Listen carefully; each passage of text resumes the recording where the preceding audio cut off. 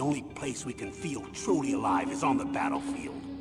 I'm a soldier too. I know those feelings of powerlessness, frustration that you feel every day. You've tried to play the Boy Scout out there in Alaska, but you can't race dogs in the snow forever.